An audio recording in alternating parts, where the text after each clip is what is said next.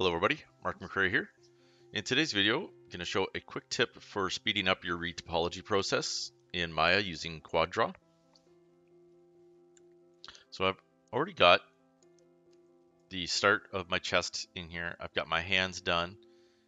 And if we go into object mode, turn off QuadDraw. And if we Oh, let's just isolate this mesh to make things a bit easier for ourselves.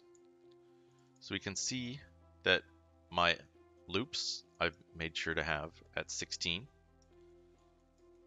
And what we're going to do is bring in a cylinder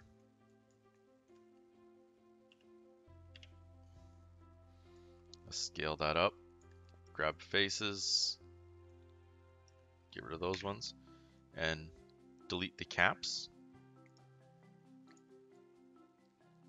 Let's go back into object mode.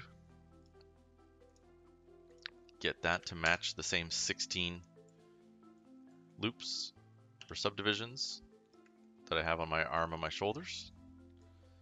And we are going to get this into place around our arm. Oh, and we can see I missed some of those faces, so let's just quickly get those now.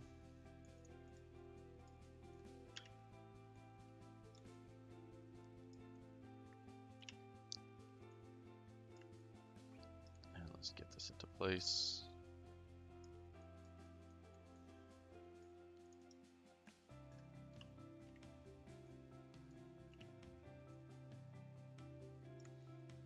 That loop pretty much at the elbow. And then I'm going to shift, drag off to extrude. And I'm going to rotate that so that better matches my wrist. Shrink it down. Let's get that about into place. So we've got that done. And then what I want to do is have it selected. I'm going to go into front view and I'm going to center the pivot for it into my mid.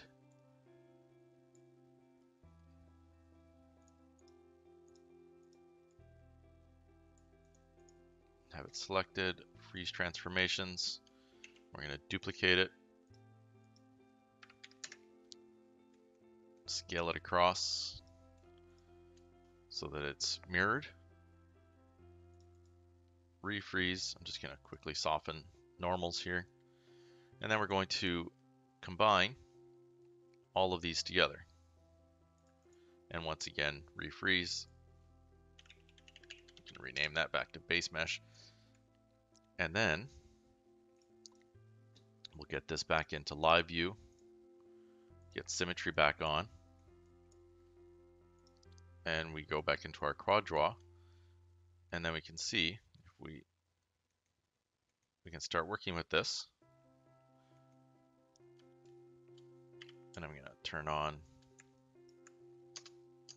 soft select and just relax these edges.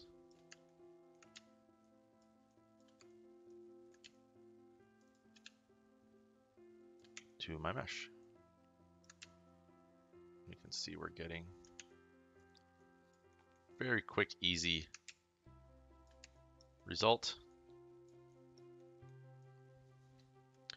So when I start matching this up, I want to make sure that I've got my center line and get it in the right spot. So I'm going to follow this line, this loop, and I want to get it in the center of my hand. So I've got good flow all around my arm. And then I'm just going to start snapping these verts, getting everything into place. And we'll just quickly do this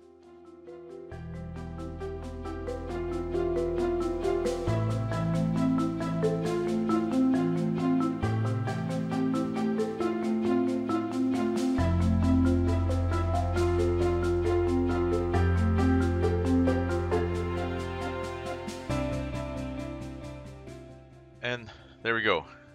A very quick and easy way to get your topology down on large areas of your mesh. And then from here, you'd want to go in and do some further cleanup, get, you know, some nice geometry in for animation around your shoulders and elbows. Get that cleanup in, get everything set for the finished product. And then you can do the same thing, adding in large shapes through your torso and your legs, and quickly get that topology down so that you can spend more time working on the detailed stuff to get your topology right. Hopefully this helps speed up your process. Hit the like button, hit subscribe if you're not already a member of the channel so you can see more tips and videos. Have a great day everybody. Thanks for watching and thanks for all your support.